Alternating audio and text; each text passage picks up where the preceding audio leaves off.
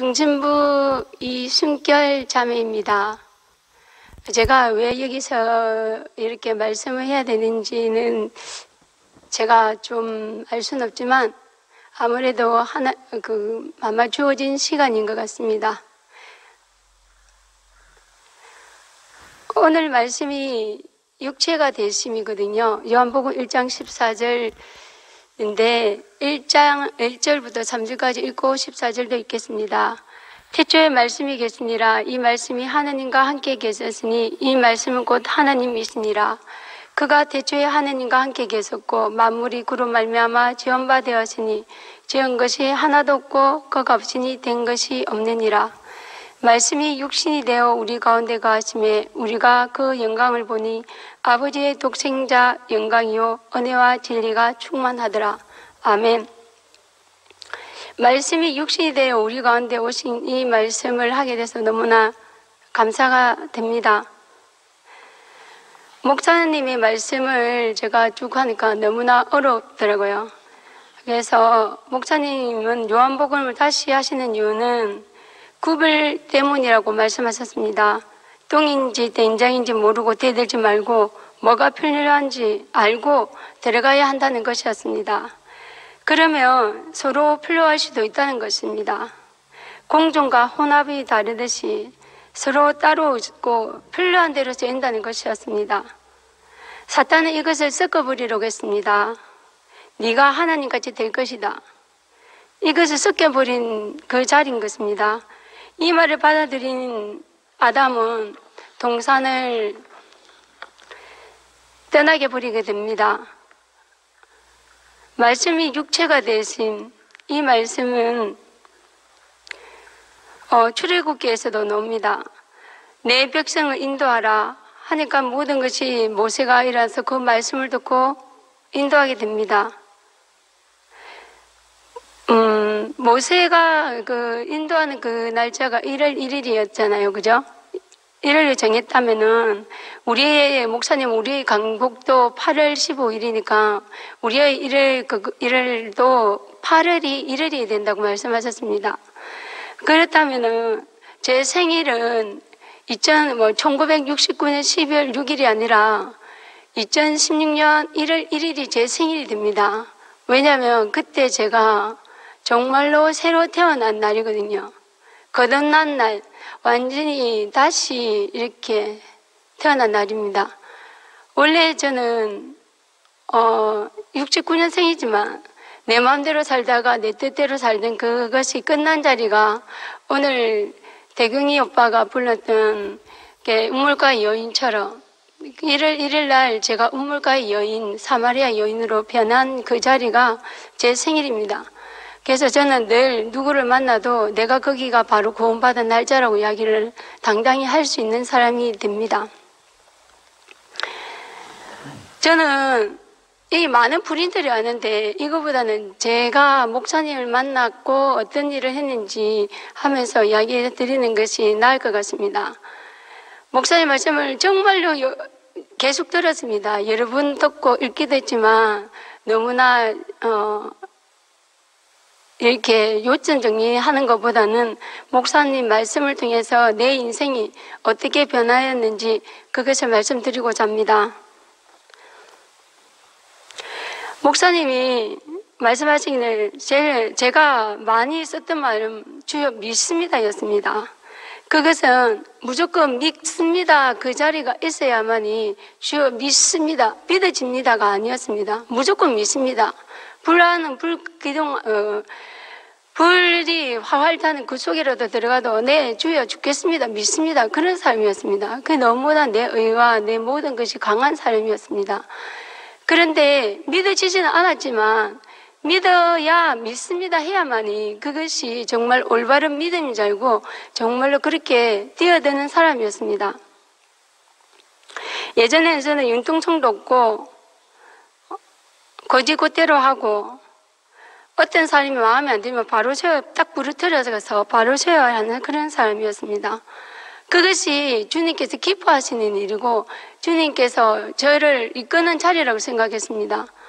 오늘 김초 목사님 말씀하셨던 것 어, 주일날 김치원 목사님께서 말씀하셨던 것처럼 어, 이적을 행하시는 예수와는 우리는 만날 길이 없는데 나는 예수와 같은 사람이 되어야만이 하나님 이 저를 쓰실 수 있는 자리라고 생각했기 때문에 그 일을 제가 하려고 온갖 일을 다 했습니다. 그런데 그것이 아니라는 것을 알게 된 것이 시작된 자리입니다. 사람의 위치는 어느 장소에 있든 사람을 살리려는 장소, 자리에 있어야 된다는 것을 목사님 말씀을 통해서 알게 되었습니다. 저는 사람을 살리는 자리가 아니라 사람을 죽이는 자리에 있었습니다. 늘 손가락이 다른 사람을 향해 지적을 하는 것입니다. 네가 사람이가? 네 왜 그렇게 사노? 네 그래 갖고 되겠나? 늘 이렇게 하는 사람입니다. 어 그랬나? 어 그랬어? 그렇구나. 아, 많이 힘들었겠네. 그런 말은 그냥 형식적인 말로 그냥 말이었고, 짐승으로는 그 사람에 대해서 말을 하지 못했습니다. 늘 지적하고, 속으로는 욕하고, 그런 이중적인 성격이 너무 싫었습니다. 그래서 제가 대구교회에 와서 내가 전도사 생활 하기 전, 하고 있을 때 재승이 오빠한테 물어봤습니다. 그렇게 이중적인 성격이 내가 정말로 이렇게 주의 종이 자리를 갈 수 있겠습니까? 나는 정말 이런 제 이중적인 성격이 너무나 싫습니다. 제 승희 오빠가 누가 니 보고 어? 어, 전도 세락하다 가면서 이야기하시기 아니요 제가 하나님께 선언했는데요 그랬더니 그건 네 말이잖아 그럼 제가 안 해도 될까요? 그랬더니 그래 안 해도 되지 함께 살자 같이 살자 그 말 때문에 제 모든 것이 정말 대성통곡했습니다. 그때 제가 아, 내 마음대로 내가 살았구나라는 걸 생각했습니다. 그래서 제가 그것을 놓아 내려놓게 되었습니다. 그것이 정말 지금의 내가 이 자리에 있게 되는 정말로 첫 단추가 되고 첫 계기가 되는 바로 재승이 오빠 함께 살자 이 말이었습니다. 어, 청경에서도 돌아온 탕자를 맞아들이며 성대한 찬찬을 드리는 아버지 마음이 인격인 것처럼 예레미야 15장 19절에 보면 내가 만일 돌아오면 내가 너를 다시 이끌어 내 앞에 세울 것이며 이것이 인격이라고 목사님 말씀하셨습니다. 근데 저는 이런 인격이 없습니다. 아니요. 쳐야죠. 저 사람들이 가만 놔두면 됩니까? 늘 그렇게 칼날을 들고 이렇게 확 잘라고 다시 세워야 된다는 것이 제, 세, 제 원래의 모습이었던 것 같습니다. 근데 그것이 잘못된 게 만들어진 것 같습니다. 제가 고2 때 교회를 다녔는데 그때 제가 천국에 너도 가서 천국에서 살자는 그 말씀 때문에 제가 천국에 가고 싶어서 교회를 다니기 시작했습니다. 그런데 그 당시 제가 교회를 다니면서 정말 많은 것을 봤습니다. 이적 같은 것들을 제가 체험을 했죠. 내가 세상에 정말 살 소망이 없고 죽어서 천국 가는 것이 제 소망이었는데 그 소망이 끝난 자리가 바로 대구에 와서 재승이 오빠가 함께 살자는 그 자리에서도 이 천국이 끝난 자리입니다. 그래서 그 자리가 저한테 정말 새로운 자리였습니다. 그리고 빛으로 오신 그 자리도 새로운 자리였습니다. 저는 대구교회여서 모든 것이 다 새로웠습니다. 근데 이 새로운 것을 받아들이기가 힘들었습니다. 그래서 20년 동안 꼭꼭 조금씩 종교성이 저한테 있었습니다. 그래서 제가 2016년 1일 날이 제 생일이라, 아, 제, 제가 생일이라는 이유가 그때 모든 것이 끝난 자리였기 때문에 당당하게 말할 수 있습니다. 아브라함에게는 에브네셀이라는 아주 친실한 종이 있었습니다. 그래서 자기 아들의 이삭의 부인인 를 데리러 갈 때 에베네셀을 보내게 됩니다. 그와 같이 하나님도 정말로 신실하고 믿고 따를 수 있는 한 사람을 찾고 계시다는 것을 알게 됩니다. 저는 하나님께 기도할 때 주여 나에게 능력 주시옵소서. 그러면 내가 이 주의 일을 하겠나이다. 주여 저에게 지혜와 명체를 다하여 주시옵소서. 그러면 제가 제 일을 하겠나이다. 주께서 나에게 능력, 능력과 명체가 지혜를 주시지 않으면 저는 제 일을 할 수 없는 사람입니다. 너 그래서 늘 하나님을 제 일꾼으로 삼아 내게 일을 하게 만드는 그런 사람이었습니다. 얼마나 교만한지. 어, 지금 생각해 보면은 제가 정말로 사람의 자리가 아니었던 것 같습니다.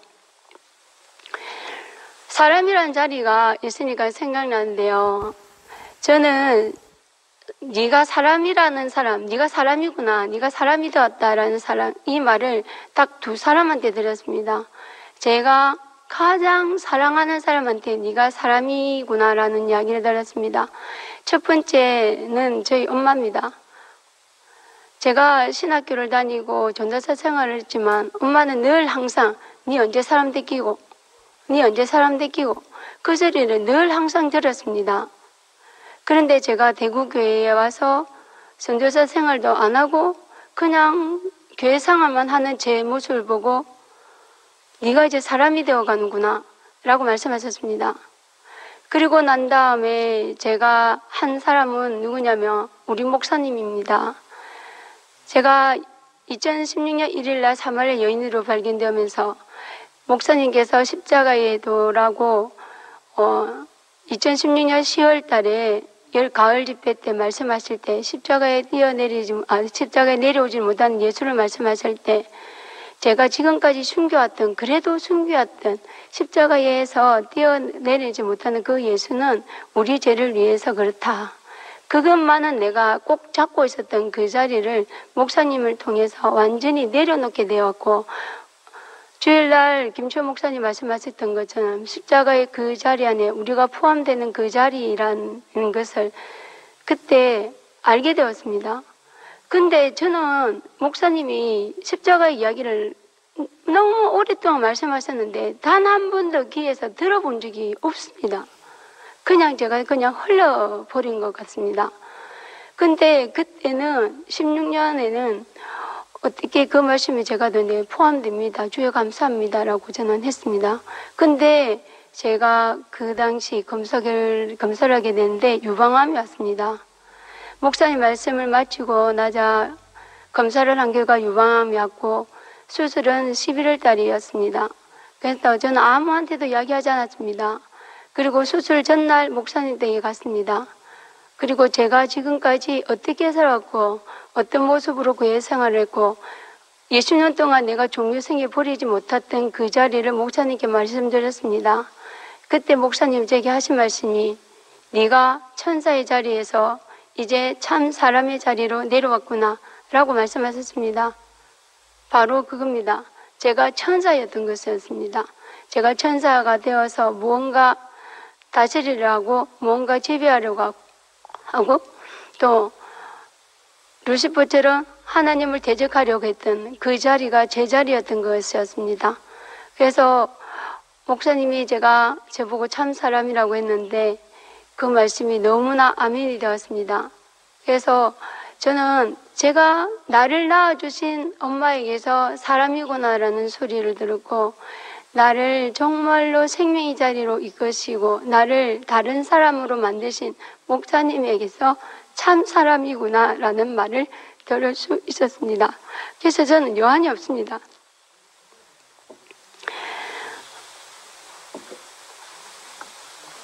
목사, 어, 목사님께서 말씀하시는 그 말씀한 사람은 육체로 오심으로 해서 어떤 결과를 가져오게 되는가 했을 때 마귀를 멸하시고 두 번째는 죄를 없애시는 없애시기 위해서 육체를 오셨다고 했습니다.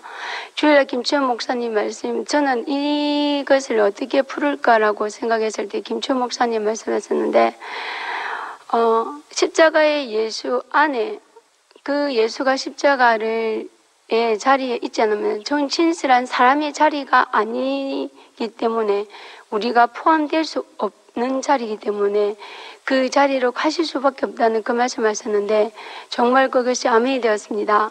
정말로 만약에 예수님이 십자가에서 정말 내려왔다면 그거는 있을 수 없는 일이죠. 사 우리가 그분과 도저히 하나가 될 수 없는 자리인데 사람의 자리로서 십자가의 자리에서 돌아가 그 운명하실 수밖에 없는 그 자리 그 자리에 저희들도 아무것도 할 수 없는 그 자리가 되니까 너무나 감사했습니다. 지금 제가 근무하는 것이 암 환자들이 아주 많이 오는 곳입니다. 늘 그 환자들에게 이렇게 비타민 요법의 주사를 놔주고 그 사람들의 마음을 좀 편안하게 해줘야 되는 것이 제 역할입니다. 예, 저는 그 병원 근무를 어, 처녀 때부터 했습니다. 그것은 제가 소록도를 가기 위한 준비 과정이었습니다.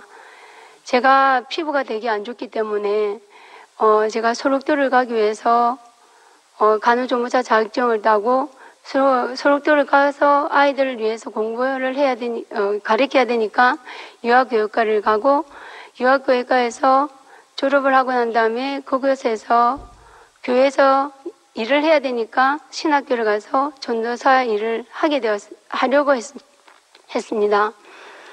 그런데 어, 육체로 오신 그분 안에 제가 모든 것이 어, 포함되는 그 자리에서 제가 모든 것이 끝난 자리가 되어집니다. 왜냐하면은 십자가의 예수 안에 포함된 자리에서 제가 그분 안에 아무것도 할 수 없는 자리로 발견되면서 교회를 다 우리 대구교회를 오게 됐는데요. 지금 제가 근무하는 것이 어, 그 연약한 그 사람들이 오는 곳이기 때문에 그 사람들한테는 이 십자가의 마지막 자리를 항상 그분 한 사람 한 사람한테 다 이야기합니다. 그러면 사람들은 지금 당시 자기들이 언제 죽을지 모르고 이렇게 남은 시간이 얼마인지를 알지 못하고 오직 이렇게 비타민 요법에 그냥 의존하는 그 속에 있으니까 제가 하는 말을 너무나 잘 듣습니다. 그분들은 교회는 다니지 않고 성당에 다니고 어떤 분들은 절에 다니기도 하고 어떤 분은 무교 있지만 무교를 가지고 있지만 그분들에게 제가 십자가 예수의 자리를 정확하게 이야기합니다. 그러면 그분들은 아멘이라고 하지는 않지만 고개를 끄덕였습니다. 예수님도 십자가에서 뛰어내리, 내려오지 못하는 그 자리에서 어떻게 하면 이 자리를 옮겨달라고 하나님께 강구했으나 하나님께서는 들어주지 않았습니다. 그렇지만 예수님께서는 그러면 주의 뜻대로 하옵소서 하고 모든 것을 내려놓습니다. 그분이 바로 우리의 첫 자리입니다. 우리도 지금 아무것도 할 수 없습니다. 다만 주어진 시간에 감사하면서 살 수밖에 없습니다. 그렇게 이야기합니다. 그러면 이 환자분들은 전부 다 받아들입니다. 제가 소록도를 가기 위해서 정말 많은 공부를 했는데요. 근데 제가 소록도가 아닌 우리 암원센터 병원에서 저를 일하는 이 자체가 그 환자들에게 십자가의 자리를 정확하게 말할 수 있고 하나님이 형상과 모양대로 만든 창세기 1장 26절을 늘 말합니다. 우리의 모습은 하나님의 형상과 모양대로 만들어졌습니다. 그래서 우리는 우리가 이렇게 암이 온 것에 대해서 우리가 저주를 하거나 우리의 삶을 저주를 한다면은 제일 기뻐하는 것은 사탄입니다. 그 사람들이 사탄이 기뻐하는 자리에 있으면 되지 않습니다. 그러면서 이야기를 하면은 그분들은 늘 이렇게 제 이야기를 끝까지 받아들이고 그리고 눈물을 짓고 선생님 말씀을 들으니까 너무나 감사합니다. 그렇게 이야기합니다.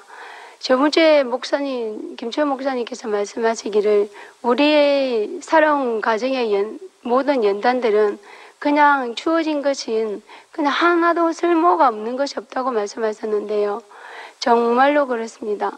제가 모든 사람들에게 어떤 이야기를 해줄 때마다 제가 겪은 이야기, 제가 경험한 이야기, 제가 본 이야기, 제가 만난 사람들 이야기만 쭉 하게 됩니다. 그럴 때 그분들은 모든 것을 받아들입니다. 왜? 오늘, 오늘 어, 주일날 김치현 목사님 말씀하셨던 사람이면 되는 그 자리. 하지만 사람이면 되는 그 자리지만 참 사람이 되는 것이 하나님 안에 있어야 되는데 안타깝게도 하나님 안에 있는 사람은 좀 드물죠. 하지만 우리 교회에 있는 분들은 하나님 안에 있는 분들인 것 같습니다. 그래서 그분들 안에 우리가 어, 위로를 받고 우리가 그분들 안에 치유가 됩니다. 우리 병원의 환자들한테는 늘 제가 늘 이렇게 성경의 말씀을 가지고 늘 환자들하고 같이 있습니다. 근데 어, 저희 원장님은 교회는 다니시는데 제가 환자들하고 오랫동안 이야기하는 거 정말 싫어하십니다. 환자들하고 친하게 지낼 필요가 없다고 같습니다. 하지만 저는 환자들 시간이 날 때마다 환자들한테 찾아갑니다. 그래서 저는 병원에서 이렇게 앉아 있지 않습니다. 늘 환자 주사 맞는 환자들, 링겔 맞는 환자들 옆에 가서 손을 잡아주고 그들이 아프다고 하면 그 손을 대고 주여 이 사람이 통증이 완화시켜 주시고 정말로 주께서 이끄시는 대로 살게 해주세요라고 기도해 드립니다. 우리 병원에 노송자 어머니가 있습니다. 성당에 계시는 분인데 아들이 지금 중국에 계십니다. 중국에서 일하고 있습니다. 근데 상골 선고를 받고 저희 병원에 2개월째 지금 치료를 받고 있습니다. 그런데 늘 하시는 말씀이 내가 우리 아들을 만나고 죽어야 되겠는데 이렇게 말씀합니다. 그럴 때마다 제가 어머니 걱정하지 마세요. 하나님께서 시간 주실 겁니다. 그리고 저는 그 어머니 아픈 부위에 대고 기도합니다. 아버지 하나님 제발 이 여인이 아들을 그리워합니다. 아버지께서 시간만 조금만 더 넣어주어 주셔서 아들을 볼 수 있게 해주세요. 그렇게 기도합니다. 그러면은 이거는 사님 만옥 하면은 제가 기도해요. 그러면은 아 그나 하면서 이렇게 제 손을 꼭 잡아주십니다. 그와 같이 어, 하나님이 찾아오신 자리는 아주 연약한 자리인 것 같습니다. 제가 힘이 있을 때는 절대 하나님 오시지 않았습니다.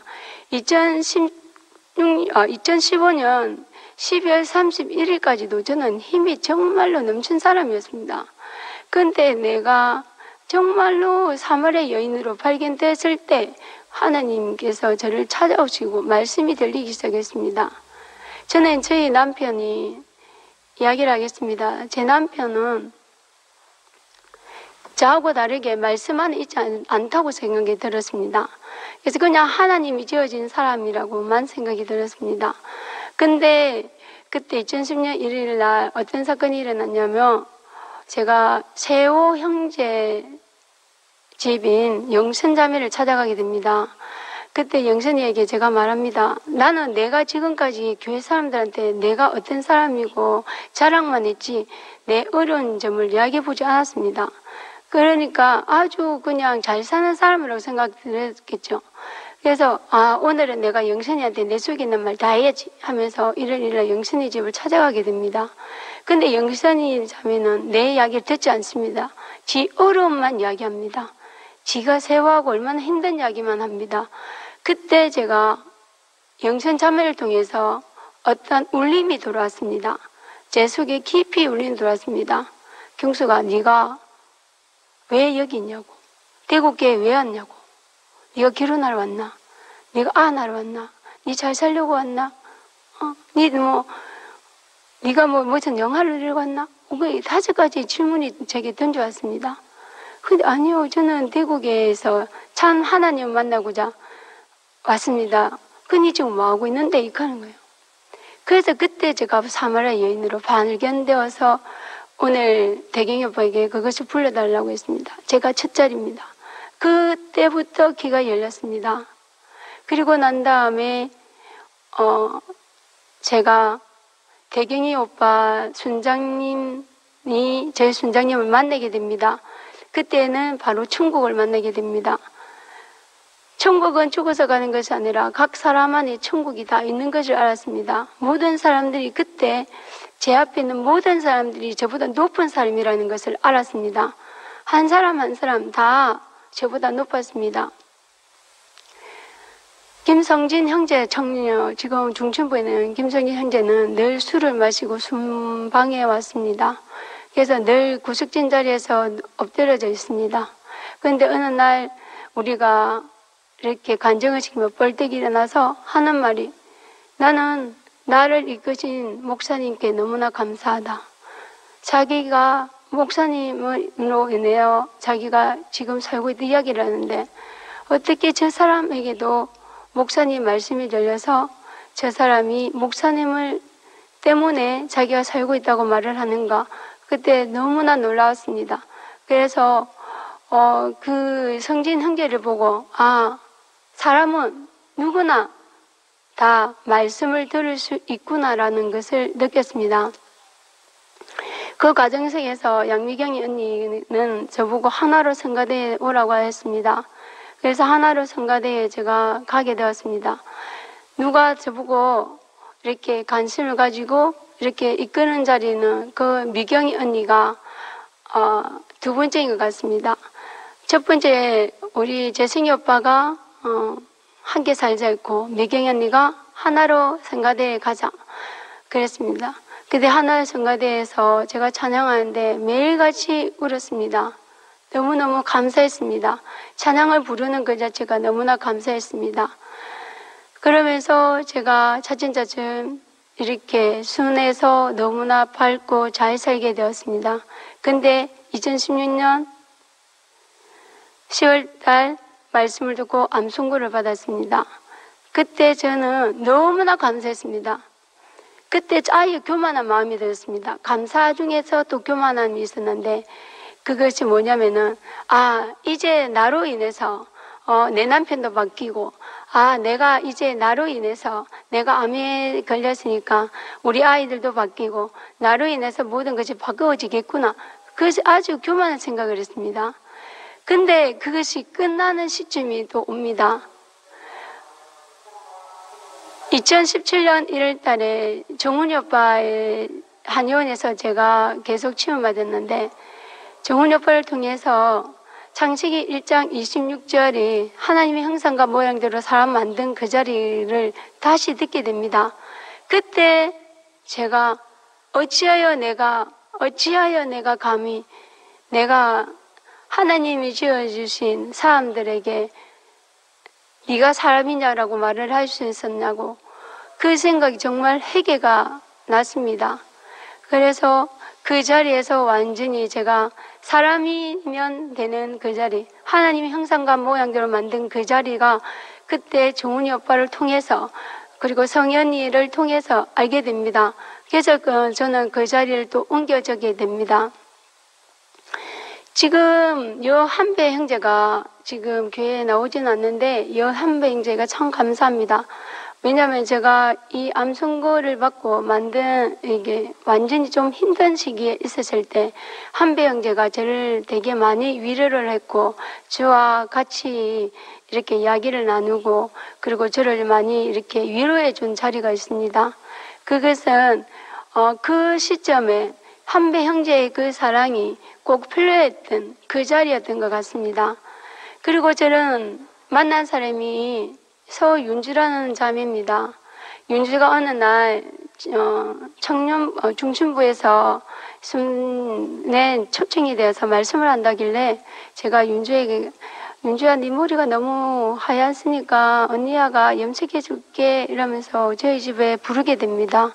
그때 윤주가 하는 말이 언니야 내 죽을 때까지 언니야가 내 염색해줘 그랬습니다.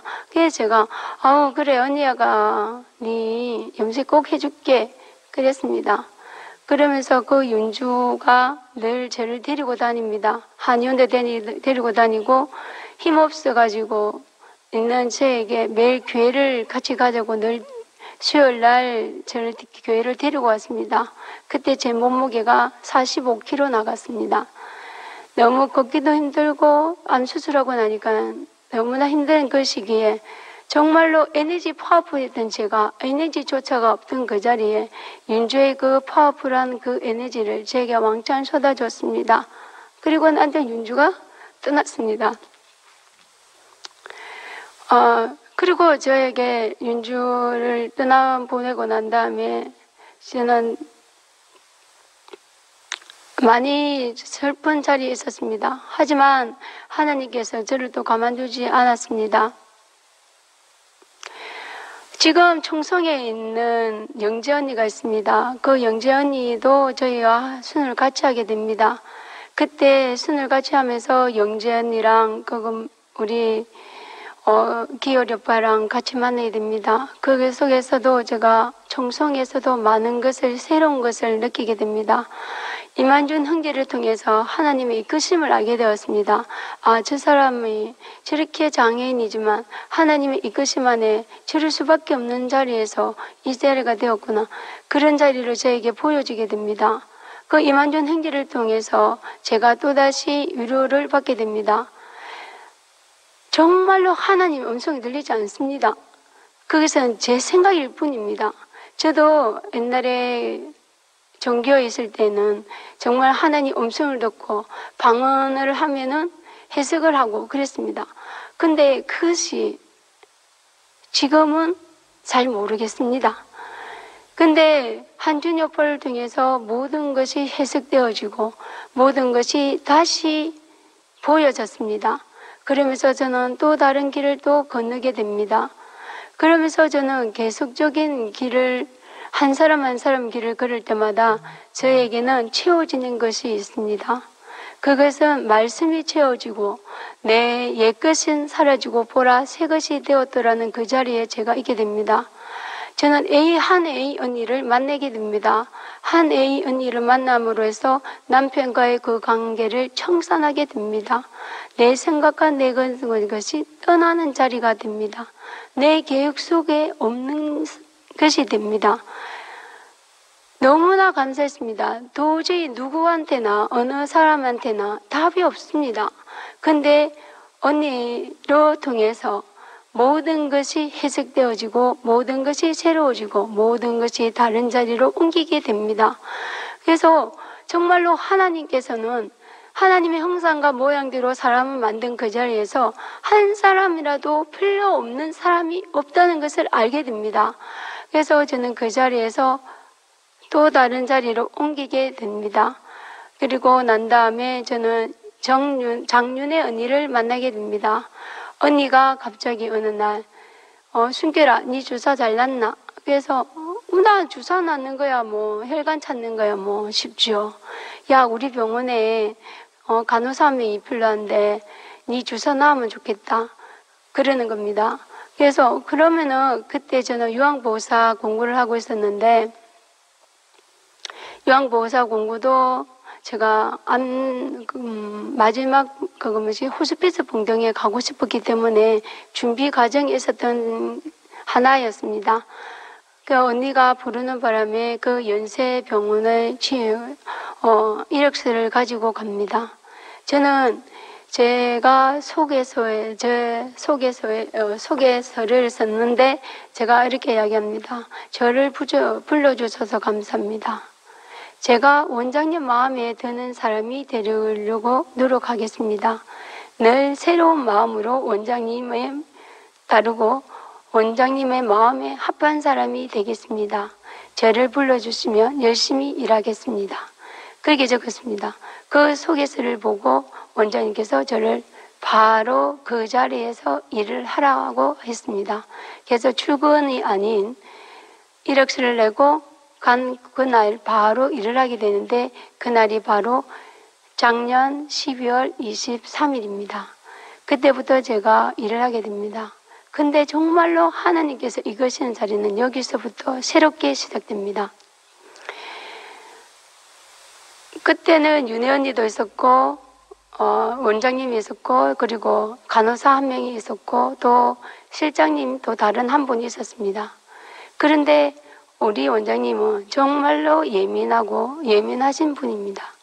절대적으로 그분 안에 순종하지 않으면 안 되는 분입니다. 그분 안에 복종하지 않으면 안 되는 분입니다. 근데 제 성격이 복종도 안 되고 순종도 안 되던 사람이 그분 앞에 순종과 복종이 되게 됩니다. 저는 너무나 감사합니다. 저는 절대 권위자 앞에서 순종과 복종의 자리를 본 적이 없습니다. 왜냐면은 저는 너무 강한 사람이기 때문입니다. 근데 그 원장님 앞에서는 무조건 제가 잘했든 잘못했든 간에 제가 죄송합니다. 다시 하겠습니다라고 말을 하지 않으면 안 되는 자리가 있었습니다.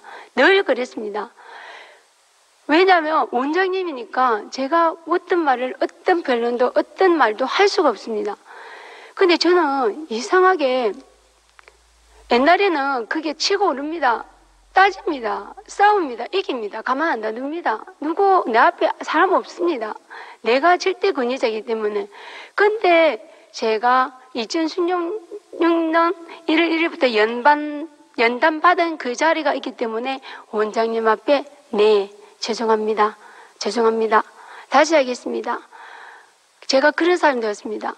권위자 앞에서 절대 복종이라는 것이 저는 있을 수 없다고 생각했는데 그 원장님한테 복종을 하게 됩니다.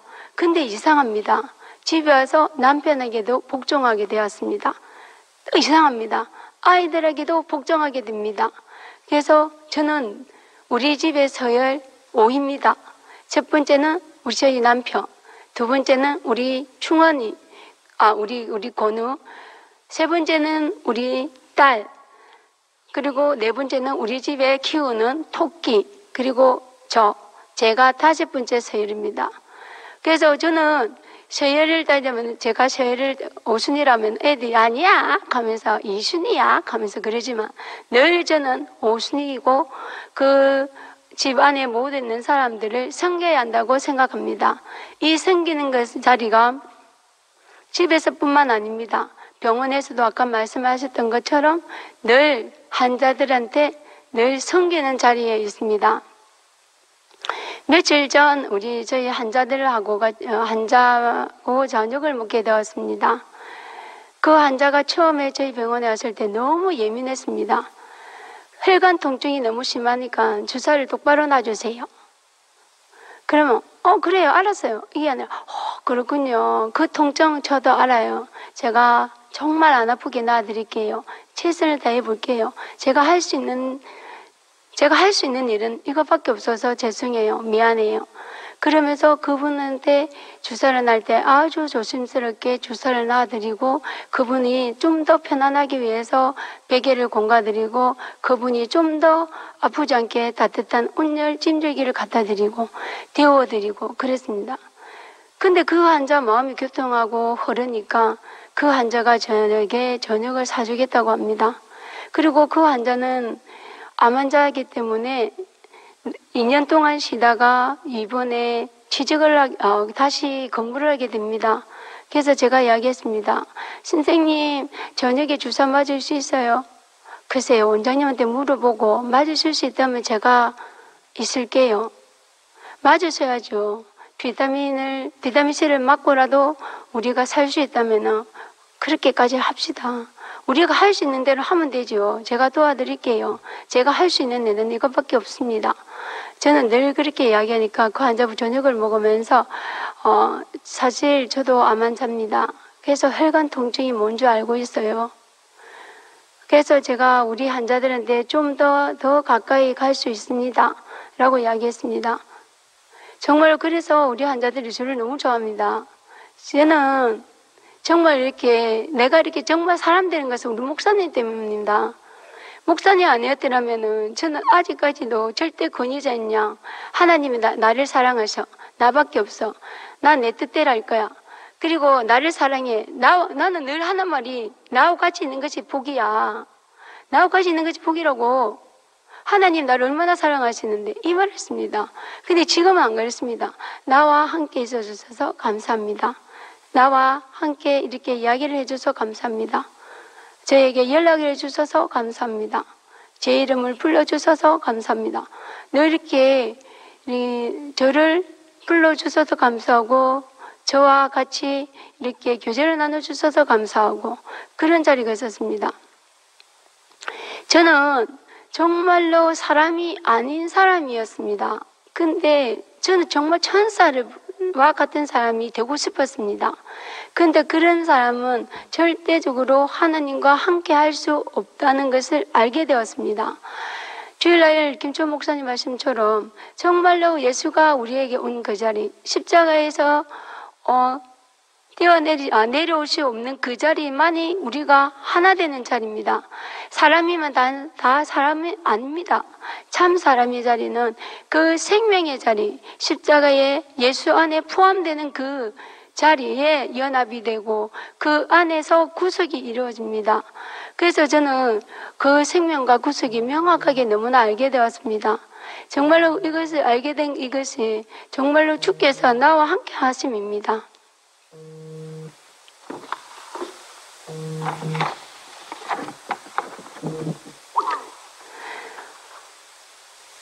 우리가 이렇게 어, 많은 시간을 통해서 우리가 이 자리에 여기까지 왔지만 이 모든 시간들은 우리에게 주어진 연단의 과정의 시간들이라고 생각이 듭니다.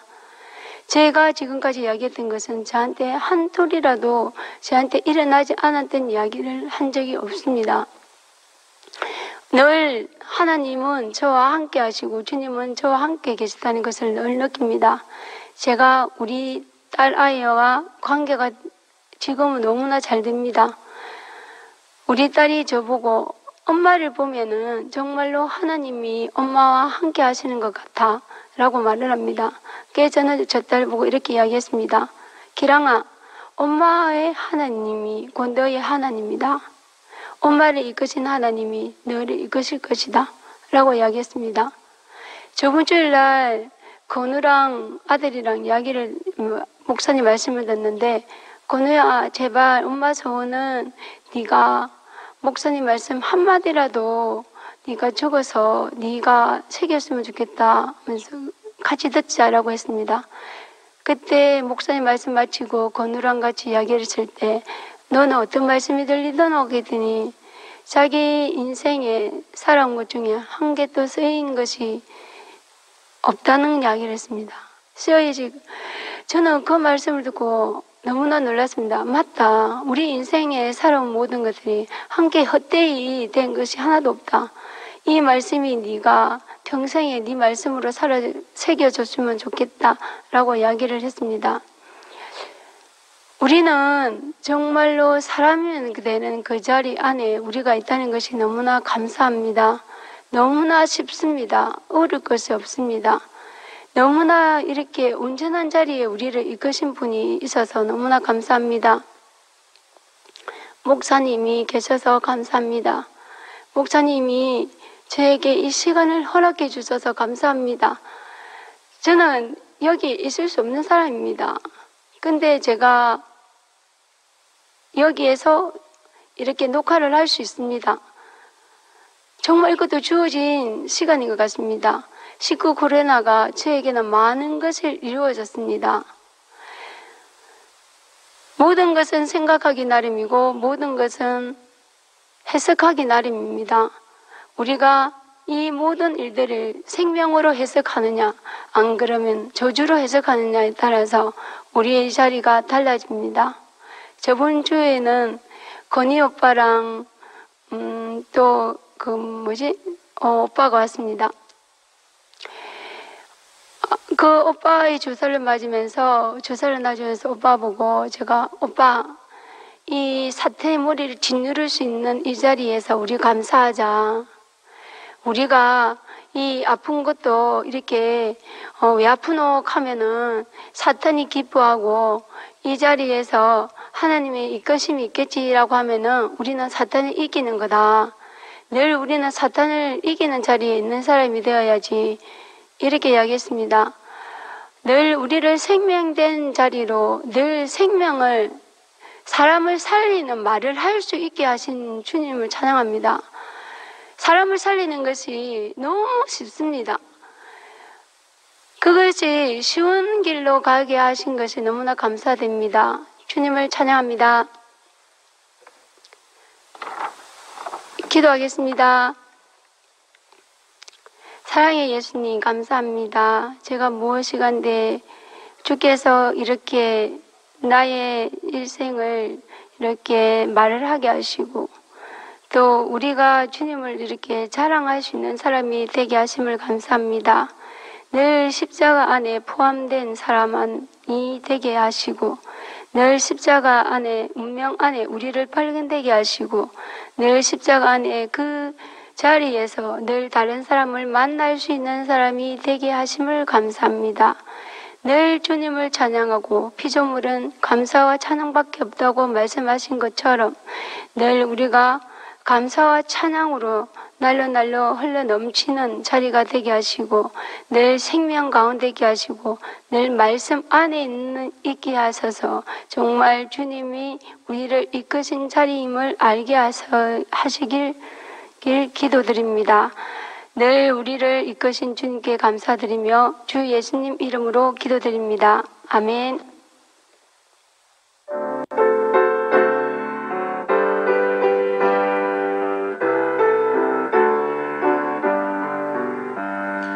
달고 묘한 그 말씀 생